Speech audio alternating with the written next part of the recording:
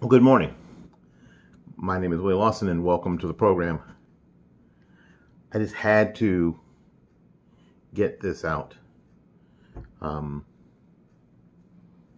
over the past little bit, um, there's been a lot of awfulness, and a lot of that awfulness has been wrapped around the R word. Not that R word, but that R word. Not the RE word, but the RA word. Racist. And I'm concerned because a lot of people in the urban community, a lot of black people, are that's kind of a that's kind of a dog whistle that the left uses to destroy anything that might be good from somebody who isn't from the left, who they think is their enemy so much, in fact, that they'll even put the the the the racist word, um, sort of turned into self hate, on black people who don't agree with the leftist agenda for the urban community. This is alarming and problematical that the, that that basically white liberals are getting to do this in the urban community and getting play and getting support. It is my hope that in 2020 and going forward, that what we get to do, that we can build on what we've already built, that we can build on the idea that that the black vote isn't monolithic and it's and it is not to be taken for granted.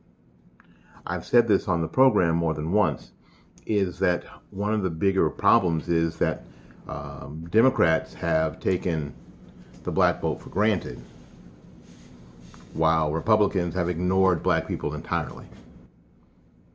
I saw a piece the other day that um, was basically talking to to white conservatives, Republicans more than conservatives, that the idea that in order to win or earn black votes, you're going to have to start dealing with situations in the black community, um, things that black people think are important.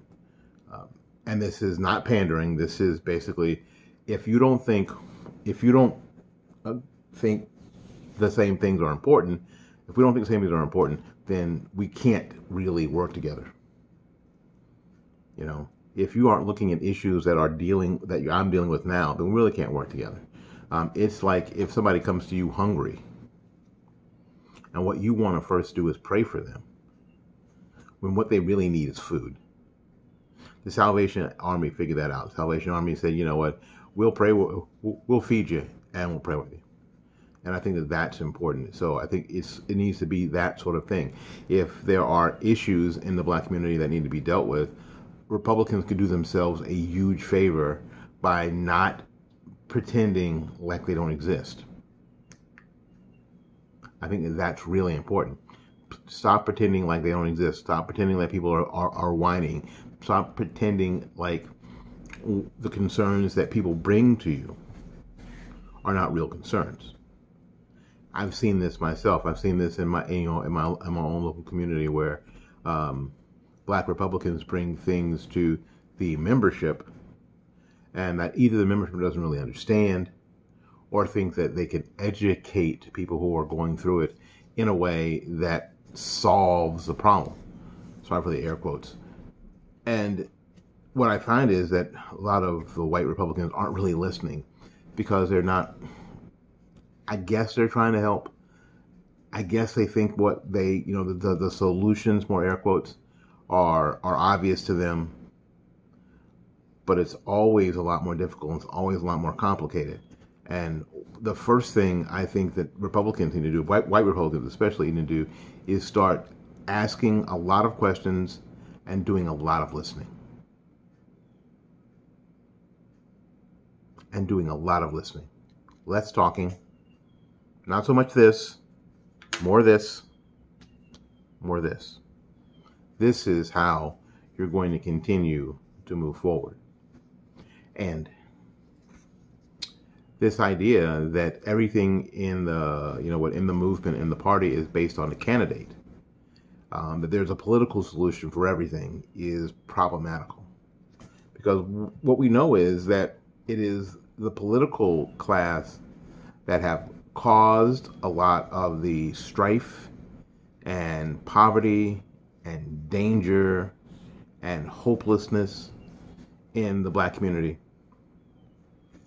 and to leave them for the solution is foolish. To solve a problem that they that a lot of them have, have created, it seems silly. And um, what we're finding out now is I think that people are really starting to to sort of get this realization that there are a lot of problems that the political class really don't want solved. They want to talk about. They want to talk about because they make great campaign issues and they jack people up but no one's really interested in the solution. No one's interested. This this whole idea about illegal immigration, you know, Donald Trump ain't the first one to bring up illegal immigration as a problem in America. Every president in my lifetime has brought this up as a problem, including Barack Obama, including Bill Clinton, and, and even including um, Jimmy Carter. So um, Reagan, Ford, Bush Bush um, have all said that this is, you know, that illegal immigration is a problem. So it's interesting that in all this time, in 35, 40 years, that nothing really of any consequence has been done. Why? Because it makes a better campaign issue than it does actually solving the problem. Which is really my opinion why Trump is getting so much pushback because no one's really interested in solving this problem and the same things go for the you know for what's happening in the black community. Um, the same thing goes with um, making sure people have good schools, making sure that there's economic opportunity. Those are great talking points for campaigns, and now we have talking points of campaigns that, that go something like this: We have to make sure that that this economy and the, the, works for everybody. That this system works for everybody. Uh, well, it does. Now, why isn't why is it working better for some than others? Then those are particulars that we need to get into. And I don't think that those are political solutions. Um, any of the encumberments to those solutions have been caused by politics and politicians. So to continue to allow them to have the the the power or the or give them the authority to solve more air quotes to solve these problems is probably not the way to go. Uh, and when they talk about it, maybe we don't maybe we shouldn't take them at their word. Maybe we shouldn't take them at their word. So I think that this is something that I think is, is something that, that, that is shifting, a paradigm that is shifting that we need, need to move forward on. There's a lot going on. Basically, when a politician or uh, someone gets stamped with the RA, the racist stamp, maybe we should wait to see if it really sticks. Not just give a Pavlov's uh, response to someone deeming someone racist, and I don't have any foreknowledge of that. Or someone may have done something that someone else will tell you is racist that very well may not be.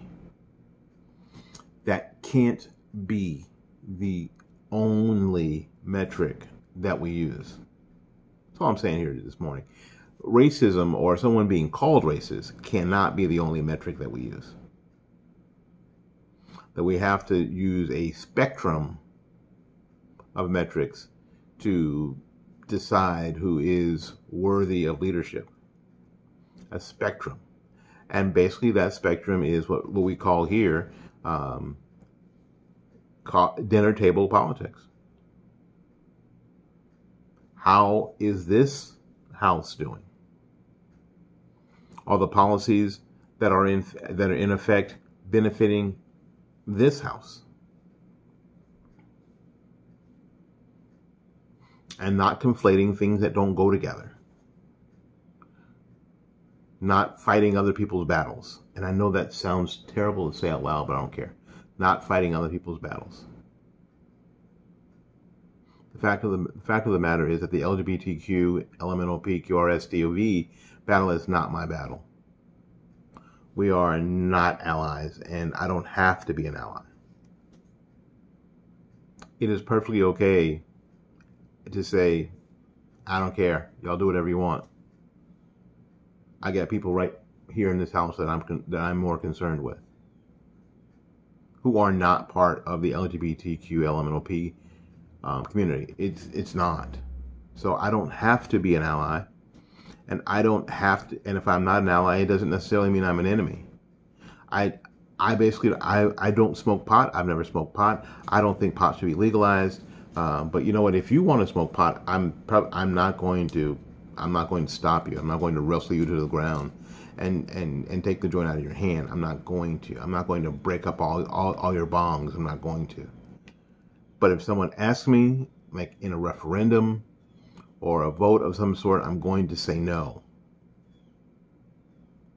It's not my concern. I'm learning here in my um, my middle age that I cannot be concerned with everything. I am too old to be a soft shell turtle where everything that somebody says, oh, hurts. I can't believe they said that. That's terrible. It's one horrible thing to say. Can't get like that. So I'm not like that. I suggest you not be that way either. All right, listen. Um, I want to tell everybody to um, look for the program To the Heart of the Matter on iHeart.com. To the Heart of the Matter. It is a continuation of the Willie Lawson Show from Blog Talk Radio, and it's all the To the Heart of the Matter is also on Spreaker. It's on Spotify, and uh, it is. I do put some of those episodes on Blog Talk Radio as well, so check them out. Uh, I think there's a couple of videos here uh, I think one of the videos that's probably going to show up in the end screen is the last one I did. So check that out. Till we see you again, go out there and learn something, love somebody, and for goodness sakes, y'all take care of yourself. We'll see you when we see you. Peace.